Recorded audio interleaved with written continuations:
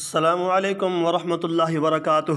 سامعین کرام، آج بہت اچھا واقعہ ہے، جس سے ہمارے میں آقا علیہ الصلاۃ والسلام کے گھرانے کی اہل بیت اعظام کی یعنی کہ یہ سید سادات ہیں، ان کی محبت انشاءاللہ بڑھ جائے گی۔ ایک دفعہ حضرت امام شافی رحمۃ اللہ تعالی علیہ درس دے رہے تھے۔ تو دوران درس آپ رحمۃ اللہ تعالی علیہ کئی بار خلاف معمول اٹھے اور بیٹھے۔ حاضرین نے آپ کے بار بار اٹھنے کی وجہ پوچھی تو آپ نے فرمایا کہ ایک سید بچہ دروازے پر کھیل رہا ہے، جس وقت وہ میرے سامنے آتا ہے تو میں ان کی تعظیم کے لیے کھڑا ہو جاتا ہوں۔ میرے لیے یہ زیب نہیں دیتا کہ آل رسول صلی اللہ علیہ وسلم قریب سے گزرے اور میں ان کی تعظیم کے لیے کھڑا نہ ہوں۔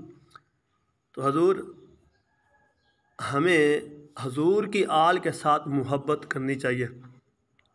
حضور کی آل کی محبت بہت بڑی چیز ہے۔ آج ہم صدات جو ہیں، ان کے اعمال کو ہمیں نہیں دیکھنا چاہیے، بلکہ ان کی نسبت کو دیکھنا چاہیے۔ ان کے اعمال جو بھی ہیں کر اللہ تعالیٰ کے حضور وہ خود پیش ہوں گے۔ لیکن ہم نے صرف آپ نے آقا و مولا آقا کریم علیہ السلام کی محبت کو دیکھتے ہوئے ان کے ساتھ محبت کرنی ہے۔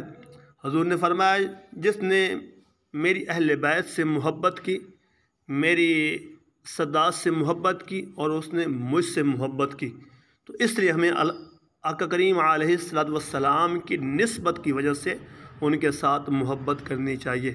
اللہ تعالی ہمیں آل رسول کی محبت نصیب عطا فرمائے۔